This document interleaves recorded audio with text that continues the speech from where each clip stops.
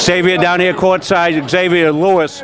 Xavier wasn't a great uh, offensive output, but just enough to keep the distance, it seemed. You had a lot of opportunities there in the first half, kept the score going your way, and then you got some help there in the second half, and it evened out pretty well then. Yeah, well, we know that we can't always make our shots, but we know that we can always defend and stop, and that's our philosophy here at Lawrence. You know, we play defense, and we get our baskets that we need. We'll come out on top at the end. Well, we talked with Coach McGee, and he talked about establishing a certain tempo of play and imposing your will, and that all stems, of course, from that defensive effort.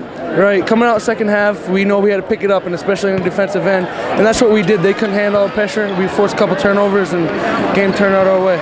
And as it turned out, once they came to pressure you, that was a great advantage of you because you guys broke down that press, got some hoops. Oh yeah, that was not a good decision by them. Plus we had big other players stepping up.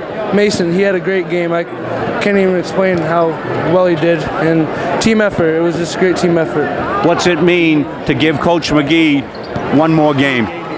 Jeez, it means everything. I mean, his last year with this group of kids coming into Lawrence, you know, this senior class is very special, and I think going out with a gold ball or just any win the next two games would be, be good. Congratulations, Xavier. Continued success.